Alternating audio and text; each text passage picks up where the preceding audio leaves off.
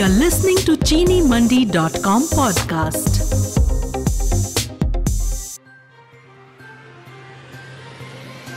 प्रधानमंत्री मोदी ने 100 किसान ड्रोन को दिखाई हरी झंडी।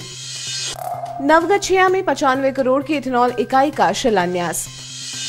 किसानों ने गन्ना मूल्य पाँच हज़ार रूपए प्रति टन करने की मांग की है। महाराष्ट्र में अब तक हुआ आठ सौ उनहत्तर लाख क्विंटल चीनी का उत्पादन। तमिलनाडु वैज्ञानिकों ने आर्मी वन प्रभावित गन्ना फ़सलों का किया निरीक्षण। यूक्रेन पर रूसी आक्रमण का भारत पर क्या प्रभाव पड़ेगा, जानिए। नाइजीरिया सरकार ने चीनी की कमी के दावों का किया खंडन। बांग्लादेश सरकारी चीनी मिलों द्वारा एक दशक में सबसे कम उत्पादन। 2021-22 चीनी सीज़न उत्तर प्रदेश में पिछले सीज़न के मुकाबले हुआ बेहतर भुगतान। ये सारे न्यूज़ पढ़ने के लिए विज़िट करें चीनी मंडी डॉट कॉम और यूट्यूब पे चैनल को सब्सक्राइब करके बेल आइकॉन को ज़रूर दबाइए।